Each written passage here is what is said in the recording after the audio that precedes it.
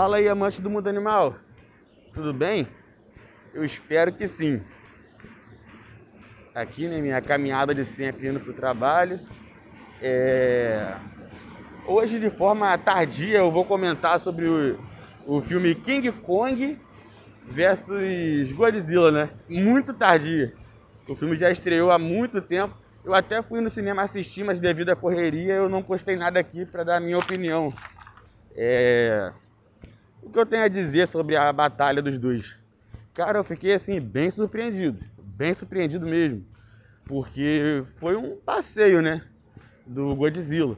Ele mostrou superioridade em tudo. Assim, a única coisa que ficou devendo foi na inteligência, né? Mas o que compensou foi na resistência do largatão. Eu já sabia que ele era extremamente resistente, porque, poxa, o King Ghidorah levantou ele, soltou ele, ele virou praticamente um meteoro caindo na Terra, entendeu? E o King Kong não sobreviveria a tal coisa. É, a verdade é essa. Embora eu prefira o King Kong, sou time King Kong, mas fazer o que, né? Ele perdeu. Um dos pontos mais interessantes foi na hora que o, o Godzilla tá procurando ele e ele joga um pedaço de prédio, sei lá o que foi, não lembro. Aí o Godzilla olhou pro outro lado, ele foi e pulou, surpreendendo o largatão. Assim, a inteligência do King Kong nesse filme tá muito show, tá muito bacana de se ver.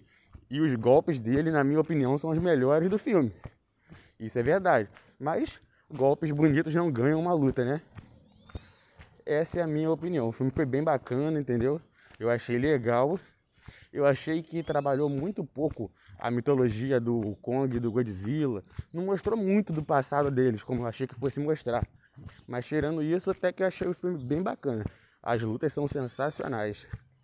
Mas é isso aí, galera. Um forte abraço e até o próximo vídeo.